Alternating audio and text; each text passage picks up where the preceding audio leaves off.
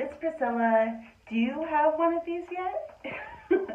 I had been pondering one of these for a while and I bought one. I got it for full price. I paid for it myself. Well, I guess technically the government paid for it, if you know what I mean. Thank you. I'll pay for it later. um, anyway, I bought one full price with my own money and uh, tried it out. And I wanted you to see what I thought of it because they are on sale right now at Costco for $10 off. So let's see if you should go buy one or not. Let's get to it.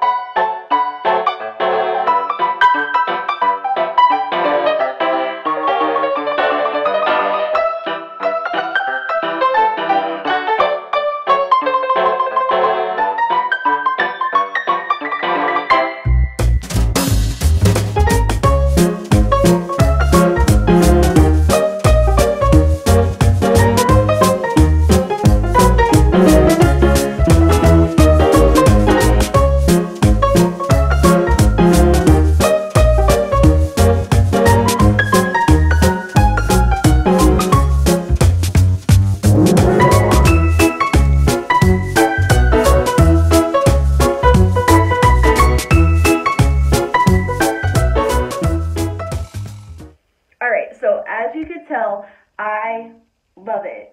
It's amazing. I am over a blow dryer, dryer and round brush. I'm over the flat iron. This is my new secret weapon. I love it and you should totally go get one. Just FYI, I'm a professional hairstylist. I've been licensed for like 12 years. I know how to use a blow dryer. I have a professional blow dryer, professional round brush. This thing rocks.